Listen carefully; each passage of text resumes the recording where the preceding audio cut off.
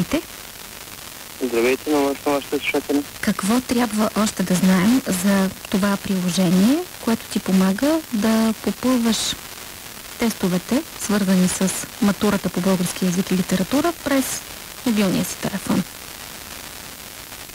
Трябва да знаем за това приложение, че основно целта е да научи зрелостните и тези хора, които искат да знаят нещо повече.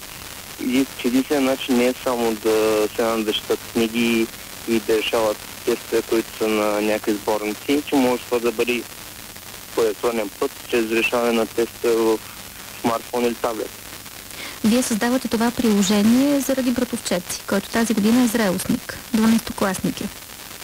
Да, основна идеята беше да помогна на него и когато се усетих, че има още такива като него, които е, по-голямото време от занимаването им привличат телефона, а не книгите, реших да създам това приложение.